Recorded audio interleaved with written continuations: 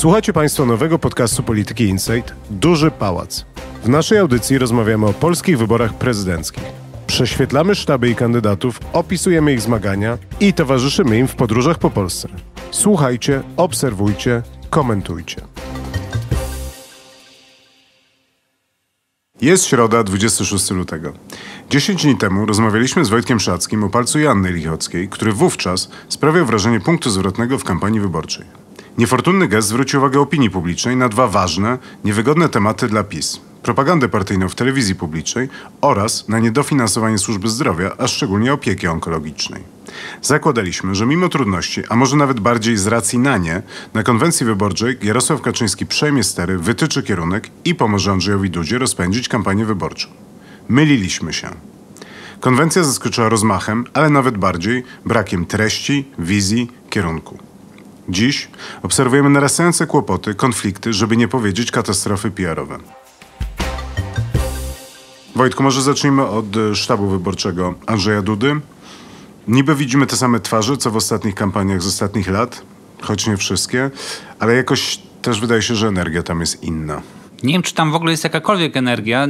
Ten sztab jeszcze na dobre nie zaczął chyba działać, tak przynajmniej twierdzą politycy różnych partii tworzących Zjednoczoną Prawicę, z którymi rozmawiam. Przede wszystkim rzuca się w oczy duża liczba stanowisk kierowniczych w tym sztabie, bo jest Beata Szydło, która trochę jest, a trochę jej nie ma, bo zdaje się, że nawet w Jachrance na tym posiedzeniu wyjazdowym klubu PiSu nie było która odpowiada teoretycznie za sprawy programowe, a być może też faktycznie, tylko że na razie tego programu nie ma. Jest Joachim Brudziński, który kieruje sztabem organizacyjnym i z tego co słyszę jest najważniejszą postacią w tym sztabie i w tym gronie. No i jest szefowa kampanii, cokolwiek ten tytuł znaczy, czyli Jolanta Turczynowicz-Kieryło postać nowa w polityce, do tej pory znana tylko lokalnie oraz znana środowisku Stanisława Karczewskiego, a także Jarosława Gowina i jego partii. I oprócz tego są te osoby, które no, współpracowały ze sztabem, czy też były po prostu w sztabach poprzednich kampanii, czyli jest Piotr Agatowski od badań, jest Paweł Szefernaker, jest Radosław Fogiel, czyli wicerzecznik prasowy PiSu, jest Adam Bielan, kolejna ważna postać z takiego politycznego świecznika, który jest rzecznikiem sztabu, czyli pewnie też chciałbym mieć coś do powiedzenia w sprawie strategii. Krzysztof Sobolewski? Krzysztof Sobolewski oczywiście. No i trochę jest tak, że gdzie jest sztabowców sześć, tam nie ma co jeść. Brakuje takiej jednej osoby, która by zarządziła tym chaosem. Zwraca uwagę fakt, że jak się patrzy na tę kampanię, no to trochę jest tak, jakby PiS był zaskoczony, że ona się w ogóle zaczęła. Chociaż sami się do niej przygotowywali, sami wyznaczyli datę tych wyborów, a mimo to wygląda jakby było to dla nich niespodzianka. Tak, bo to jest tak, że ja pamiętam jeszcze pewnie ze dwa miesiące temu, czy trzy, rozmawialiśmy o tym, że Platforma jest kompletnie nieprzygotowana, jest w totalnym rozgardiaszu, nie wiadomo kto będzie przywódcą, nie wiadomo kto będzie robił kampanię. Małgorzata Kidawa-Błońska jest w lesie, a z kolei Andrzej Duda robi kampanię, jeździ, wiecuje i tak dalej. Mam wrażenie, że o tyle mieliśmy rację, że rzeczywiście Andrzej Duda jeździł i wiecował, natomiast ktoś zapomniał o tym, że trzeba postawić jeszcze sztab wyborczy. I że te takie ostrzeżenia, wielokrotnie pisowcy powtarzali, że nie można pozwolić sobie na to, żeby nie docenić wagi tej kampanii, że jednak trzeba pamiętać, że każde wybory można przegrać, żeby nie brać przykładu z Bronisława Komorowskiego i że mimo tych zaklęć tak naprawdę powtarza się trochę historia w pewnym sensie z wieloma różnicami sprzed pięciu lat. No, na PiSie pewnie się mści, że między tymi wyborami parlamentarnymi a prezydenckimi jest tych kilka miesięcy, w czasie których partia rządząca ma niewiele do zaoferowania, niewiele do powiedzenia. Ja rozumiem, że prezydent nie ma takich narzędzi jak parlament czy rząd. Trudno, żeby program prezydenta był identyczny z programem partii politycznej, bo to są jednak inne wybory. No ale PiS przez te pierwszych kilka miesięcy, mam wrażenie, zapomniał po co rządzi. Znaczy zniknęły z agendy wszystkie jakieś ambitne plany, poza takimi, które sięgają wiele lat naprzód oraz poza sądami, które z kolei nie wszystkim się podobają, mobilizują wyborców również opozycji. Społeczeństwo jest podzielone w ocenie tych projektów. No i powstało wrażenie, że PiS chce tak po prostu dojechać do tych wyborów prezydenckich na tym paliwie, które wystarczyło w październiku zeszłego roku do wygrania wyborów parlamentarnych, a później to jakoś to będzie i już będzie można rządzić. No ale wygląda na to, że tak się jednak nie da. Jeszcze zanim przejdziemy dalej, chciałem się ciebie zapytać, kogo nie ma w tym sztabie, to znaczy czy są jakieś zaskoczenia wynikające z tego, że kogoś w tym sztabie brakuje. Prawdę mówiąc, nie ma wielu takich zaskoczeń. Z jednej strony nie ma weterana wielu sztabów, czyli europosła Tomasza Poręby. To jest jakaś tajemnicza historia. Politycy PiSu nie chcą mówić, dlaczego nie ma tego akurat europosła, który był zawsze. Jedyne wytłumaczenie oficjalne to jest takie, że już jest wystarczająco dużo europosłów w tym sztabie, co skądinąd jest pewnym problemem. I do tej pory nie było nikogo z Solidarnej Polski, co przykuło uwagę mediów. No i zaczęły się pytania, czy aby na pewno Zbigniew Ziobro popiera prezydenta, a jeśli popiera, to dlaczego jego ludzie nie są w sztabie, skoro są ludzie Jarosława Gowina. No i wygląda na to, że sztab zareagował i zapadła polityczna decyzja, żeby jednego ziobrystę dokooptować do sztabu prezydenckiego. Wczoraj usłyszałem, że to może być Jan Kantak, ale że ta decyzja jeszcze ostatecznie nie zapadła, więc pewnie w ciągu najbliższych paru dni któryś z młodych posłów Zbigniewa Ziobry dołączy do tego zaplecza kampanijnego. A zatrzymajmy się jeszcze proszę na pani mecenas Turczynowicz-Kieryło, o której wspomniałeś. My mieliśmy z Wojtkiem długie dyskusje na temat tego, czy to był dobry wybór, czy nie i czy w tych pierwszych dniach jej urzędowania ona bardziej pomaga, czy przeszkadza. Nie zdradzając, kto miał jakie zdanie na ten temat, myślę, że dzisiaj możemy się zgodzić i powiedzieć, że jednak nie wygląda to wszystko najlepiej i że pojawiają się coraz częściej pytania, czy pani mecenas dotrwa do końca kampanii. No, pani mecenas ma wielu wrogów w Zjednoczonej Prawicy, trochę w PiSie. Rozmawiałem z jedną posłanką, która uważa, że nawet nie sama pani mecenas jest zagrożeniem, ale środowisko, z którego wywodzi się jej mąż. To jest taki późny AWS schyłkowy. Z drugiej strony są ziobryści, którzy bardzo atakują panią mecenas z kolei z różnych powodów, że jest niedoświadczona ani politycznie, ani medialnie, ale z kolei Gowinowcy, z którymi dużo rozmawiałem wczoraj na tweetapie porozumienia, twierdzą z kolei, że ziobryści widzą w pani Turczynowicz-Kieryło zagrożenie dla nawet samego Zbigniewa Ziobry, ponieważ to ona odpowiadała za poprawki do ustaw sądowych. Ewidentnie ma inne zdanie w sprawie zmian w wymiarze sprawiedliwości. No i jeśli ta kampania zakończy się sukcesem, no to Turczynowicz-Kieryło wyrośnie na ważną politykę obozu władzy i w dodatku w tym temacie, w którym ziobryści czują się monopolistami. Ale ty uważasz, że pani mecenas pomaga, czy przeszkadza? Po pierwsze, to oczywiście zobaczymy, czas pokaże, jak to lubimy powtarzać.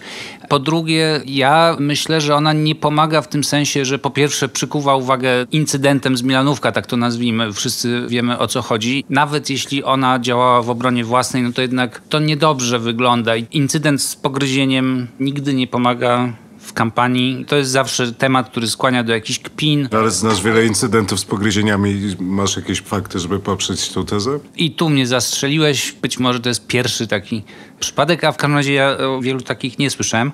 Ale już nawet abstrahując od tego nieszczęsnego palca czy ręki, palec to był innej pani polityk, abstrahując od tego, no to pani Turczynowicz-Kieryło na przykład została bardzo źle przyjęta na tym wyjazdowym posiedzeniu PiS w Jachrance, gdy zamiast o Andrzeju Dudzie i kampanii mówiła o sobie, posłowie przerwali wystąpienie okrzykami Andrzej Duda, Andrzej Duda, no i zmusili ją do zejścia z mównicy. No ale Jarosław Gowin dzisiaj w radio powiedział, słyszałem to na własne uszy, że fakty się zgadzają, ale interpretacja jest błędna, ponieważ pani mecenas zakończyła swoje wystąpienie słowami, że prosi wszystkich o wsparcie Andrzeja Dudy i wtedy cała sala zaczęła skandować Andrzej Duda, Andrzej Duda i dlatego ona zeszła z mównicy. Słyszałem wiele innych relacji, ale nie dziwię się panu wicepremierowi, że on w ten sposób mówi, no bo to on promuje panią mecenas. Rozumiem, już kończąc szybko ten temat pani mecenas, że tu jest też pewne napięcie pomiędzy, powiem brzydko, projektem mecenas Turczynowicz-Kieryło, a osobą Beaty Szydło, dla której wydaje się, że trochę nie ma miejsca w tym tak zwanym obrazku. Szczególnie, że myślę, że możemy z dużą dozą pewności założyć, że jednak decyzje programowe zapadają raczej na Nowogrodzkiej, a nie gdzieś pomiędzy Brukselą a Strasburgiem. A ty widziałeś w ogóle Beatę Szydło w tej kampanii? No widziałem ją na konwencji. Na konwencji, ale po, tak poza Ja tym. widziałem takie smutne jeszcze zdjęcia z zagłaszania sztabu. Pewnie one były złośliwe, ale widziałem taką smutną twarz pani premier. Złośliwe zdjęcia to zresztą ciekawa kategoria. Ja specjalnie nie widzę Beaty Szydło w tej kampanii. Znaczy, prawdę mówiąc, w ogóle ta kampania jest taka, że trudno ją zauważyć, trudno z niej coś zapamiętać, bo to są przeważnie spotkania z tak zwanymi zwykłymi Polakami, zwykłymi ludźmi, którzy rzucają się prezydentowi w ramiona i dziękują mu za różne wspaniałe projekty, które rząd PiSu przygotował, a prezydent podpisał. Natomiast tak naprawdę to ja nie wiem, o co chodzi prezydentowi. Wiem, że jeździ po Polsce. No Bronisław Komorowski też dużo jeździł po Polsce i skończyło się tak, jak się skończyło. Ja pozwolę sobie na wyrażenie swojego zdania i powiem, że moim zdaniem Beata Szydło jeszcze wróci i zgaduję, że jednak wróci w chwale. To znaczy w momencie, kiedy ta kampania będzie coraz bardziej buksowała, a buksuje, to będzie potrzeba jakiegoś nowego otwarcia i dla mnie jedynym możliwym pomysłem na tym etapie to nie jest wyciągnięcie kolejnej pani mecenas Turczynowicz-Kieryło, tylko jednak do starych, sprawdzonych wzorców i taką postacią, która może dać nową energię tej kampanii i też w pewnym sensie zjednoczyć Zjednoczoną Prawicę, wydaje mi się być Beata Szydło. Ale rozumiem, że to jest niesamowity opór Nowogrodzkiej i to jest pytanie o to, czy ten opór i upór zostanie przełamany przez zdrowy rozsądek, bo wydaje się, że to jest jednak kierunek zdroworozsądkowy, żeby wrócić do bardzo popularnej bądź co bądź premier Beaty Szydło. No jest więcej takich dylematów, zdrowy rozsądek czy interes bieżący partii Prawo i Sprawiedliwość. Ten powrót czy też wyeksponowanie Beaty Szydło to jest jedna sprawa. Druga sprawa to jest oczywiście stosunek prezydenta do ustawy znanej jako ustawy o dwóch miliardach dla TVP. I co się tu wydarzy twoim zdaniem? No, interes partii wskazywałby na to, że należałoby tę ustawę podpisać. Interes z kolei prezydenta, który teraz zaczął wprowadzać przekaz do swoich wystąpień, że on jest prezydentem niezależnym i że zdarzało mu się korygować błędy PiSu, nie podpisywać ustaw, wysyłać je do Trybunału. Prezydent zresztą mówi, że Teraz PiS przyznał mu rację. Rzeczywiście Jarosław Kaczyński podziękował mu nawet za weta do ustaw sądowych z 2017 roku. I bez dwóch zdań, no, zawetowanie tej ustawy zamknęłoby usta wielu krytykom prezydenta a w dodatku dałoby jakiś napęd w tej kampanii, bo prezydent zrobiłby coś niestandardowego, coś, co by przykuło uwagę mediów, co by świadczyło o jego niezależności. I teraz tak, nie mam jasności, co zrobi prezydent, natomiast całe otoczenie i prezydenta, i kampanijne również nie ma pewności, natomiast jest ewidentny spór w tym otoczeniu o to, co powinien zrobić prezydent. Ziobryści na przykład bardzo chcą, żeby prezydent podpisał, w dodatku uważają za błąd, że nie zrobił tego natychmiast, za objaw słabości. W PiSie podobno większość osób, a w tym ośrodek decyzyjny jest przekonany, że weto byłoby dobrym pomysłem podobnie uważa porozumienie. Natomiast są też posłowie PiSu, którzy są zdecydowanie za podpisaniem tej ustawy, wskazując na interes telewizji publicznej, której finansowanie byłoby inaczej zagrożone. No ja znowu wrócę do rozmowy w TKF Jarosława Gowina, który powiedział, że nie jest doradcą prezydenta Dudy, a jeżeli by mu doradzał, to nie robiłby tego na antenie TOK FM. Natomiast to, co może powiedzieć na temat tej ustawy, to, że za nią zagłosował. Więc ciężko byłoby mu wetować, czy doradzać wetowanie w sytuacji, w której on zagłosował jednak za tą ustawą. Więc możliwe, że na ofie mówi się coś innego w PiSie czy w porozumieniu, natomiast jednak na fonii i na wizji obóz Zjednoczonej Prawicy stoi murem za tą ustawą. Co jest zrozumiałe. Po pierwsze dlatego, że oni to przegłosowali, po drugie dlatego, że jeśli prezydent ma tak naprawdę ją zawetować, żeby pokazać swoją niezależność, to nie może być teraz tak, że wszyscy będą mu podpowiadali weto, a on wtedy zawetuje. Jeśli ma być pokaz niezależności, no to najpierw musi być pokaz determinacji ze strony PiSu i nawet gowinowców, że oni tej ustawy chcą i że ją popierają. A prezydent wtedy powiedziałby nie. No i wtedy można mówić, że prezydent jest niezależny i tak dalej, i tak dalej. To może zatrzymajmy się na tej niezależności tym razem. Jest dla mnie dosyć niesamowite, że siedzę i patrzę na zdjęcie Andrzeja Dudy na tle ścianki Prawa i Sprawiedliwość. Tak jak w tej kampanii, myślę, że jednym z najważniejszych zdjęć do dziś było zdjęcie palca, no to to zdjęcie rzeczywiście jest kolejnym jakimś takim kamieniem milowym, wydaje mi się, w losach politycznych tego kraju. Taka jest anegdota z Jachranki, że posłowie PiSu wyciągali telefony, a Anita Czerwińska, czyli rzeczniczka PiSu, chodziła i kazała im chować te telefony i zakazywała robić zdjęć. Zresztą jak najbardziej słusznie, jak patrzę na efekt tych fotograficznych przygód. Zdjęcie w gazecie jest podpisane Twitter, Czyli nie było to zdjęcie profesjonalnego fotografa, po prostu tych obrazków miało nie być. A jeśli sztab dopuścił do tego, że takie zdjęcia są, no to jest błąd sztabu. Zresztą te błędy się sypią, trudno za nimi nawet nadążyć. Uważam za jakąś katastrofę PR-owską, być może na mniejszą skalę, fakt, że wiec, de facto wiec wyborczy w Żyrardowie, choć formalnie było to uroczyste podpisanie ustawy dającej 13 emeryturę, prowadziła dziennikarka TVP, kiedy prezydent powinien raczej uciekać od wszystkich skojarzeń z telewizją publiczną, uciekać od tego wizerunku prezydenta sklejonego z Jackiem Kurskim.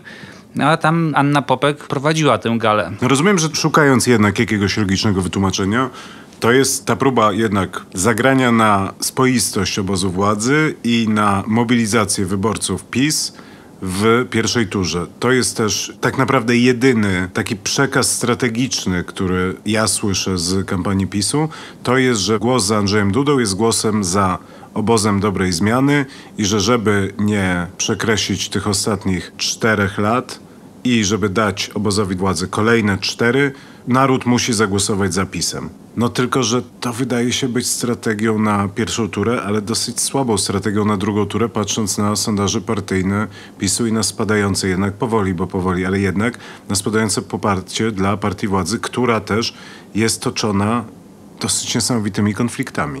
Tak, no te konflikty wyszły na tę skalę chyba pierwszy raz w ciągu tych pięciu lat. Ja naprawdę jestem zdumiony tym, co słyszę na ofie od polityków z różnych stron Zjednoczonej Prawicy, tym, co widzę w gabinecie, czy też pod gabinetem Mariana Banasia, bałaganem w służbach, niejasnymi dymisjami na szczytach tych służb. No, dzieje się bardzo dużo w Zjednoczonej Prawicy, w PiSie, dzieje się dużo niedobrych dla nich rzeczy.